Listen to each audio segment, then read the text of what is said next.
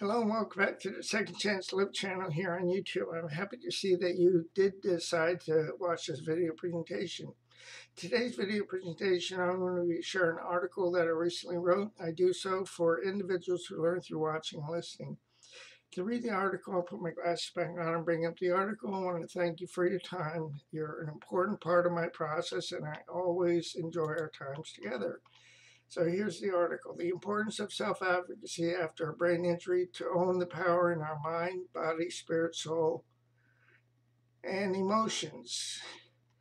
I'm writing this, I'm in the process of writing my 15th ebook The Importance of Self Advocacy After a Brain Injury to Own the Power in Our Mind, Body, Spirit, Soul, and Emotions ebook.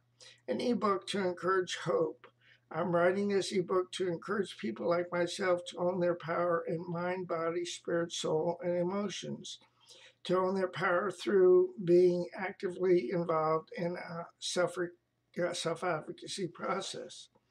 A self advocacy process, although they may experience opposition.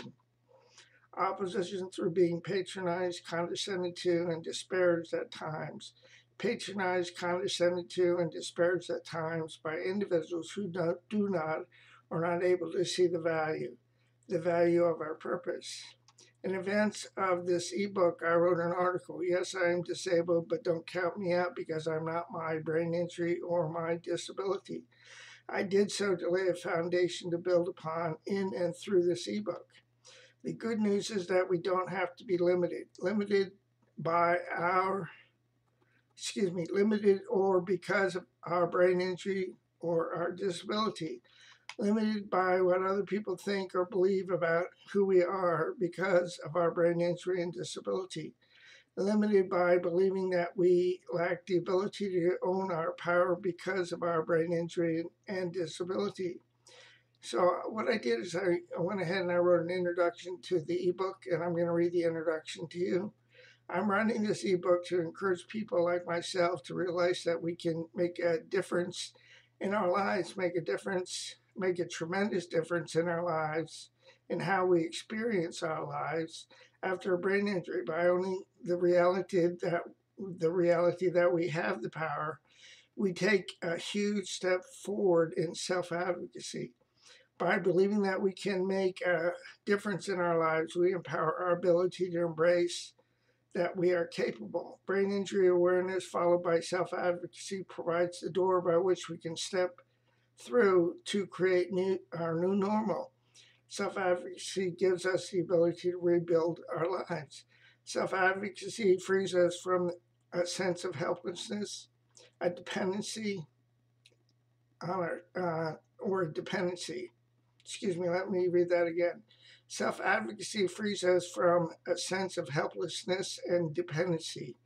Self advocacy helps us to realize that we no longer have to be limited by a diagnosis or a prognosis. Self advocacy helps to open our eyes to realize that we can own our power. Self advocacy helps us to realize that we no longer have to limit ourselves or be limited by a societal label, stereotype, or stigmatization, that we no longer have to be paralyzed by stress and anxiety, that we no longer have to feel like we are a victim of our circumstances, that we can build something beautiful on our lot in life. Self advocacy helps us to realize that we can walk through a door to a whole, to a whole new way of living.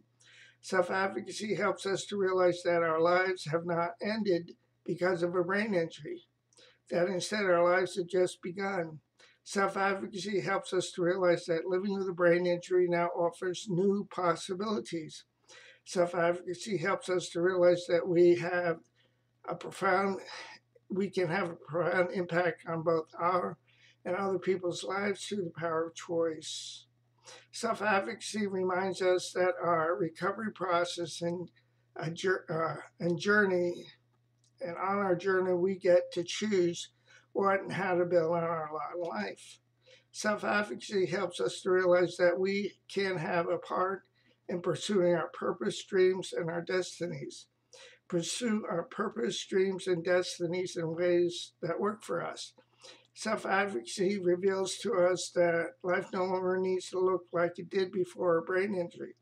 Self advocacy helps us to wake up from denying the impact of our brain injury.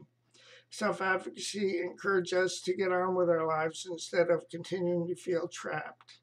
Self advocacy inspires us to get into action to build self action in order to create and experience hope in our lives, one skill and one skill set at a time. Self advocacy gives us the creative capacity to experience what we never dreamed possible. Self advocacy empowers our ability to excel in life despite of what we may have been told or led to believe about ourselves. Self-advocacy helps us helps to helps us to find a way when we are told that there is no way. Self-advocacy inspires us to not give up because more will be revealed. Self-advocacy helps us to accept our deficits and limitations by not being limited by them. Self advocacy helps us to use our gifts, talents, and abilities to impact both our generation and future generations, to have, a, have an impact by doing the footwork and letting go of the outcomes. Self advocacy reminds us to not give up, although and when we feel patronized, condescended to, or disparaged patronized, condescended to, and disparaged by those who cannot see the value of what we bring to the table of life through self advocacy.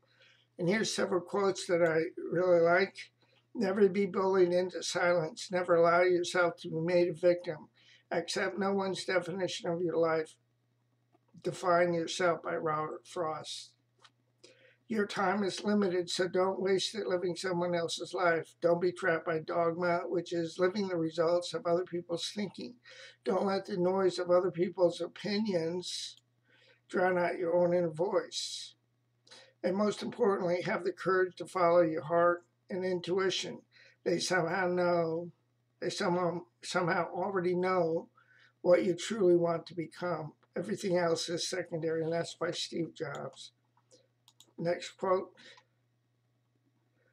Don't quit, never give up trying to build the world that you can see, even if others can't see it. Listen to your own drum and your drum only.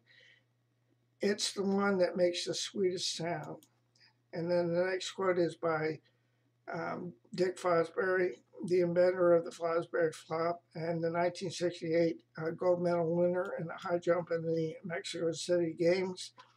I was told over and over again that I would never be successful, that I was not going to be competitive, and the techniques was simply not going to work. All I could do sh- was shrug and say, we'll just have to see.